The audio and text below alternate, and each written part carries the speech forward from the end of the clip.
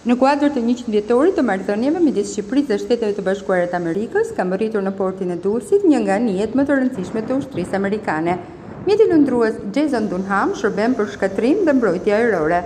Emri i anijes i përket një kapiteni të rënë në luftë në Irak. Me një vlerë prej dy miliardë dollarë, anija që vjen për herë të parë në vendin tonë, lundron prej më shumë se njëmbëdhjetë vitesh, pasi ka dalë në det që në dy mijë e dhjetën. Ajo është rreth njëqind e gjashtëdhjetë metra e gjatë dhe peshon nëntë mijë e treqind ton, ndërsa ekuipazhi përbohet nga rreth treqind e dyzet persona. Në bordin e bishës amerikane ka dhe dy helikopterë dhe gomone operacionale.